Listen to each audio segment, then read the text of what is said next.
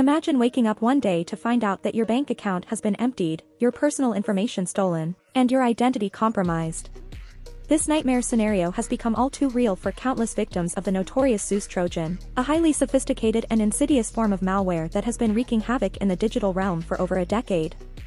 Zeus, also known as Zbot, is a malicious software that silently infiltrates your computer or mobile device, often disguised as a legitimate file or email attachment.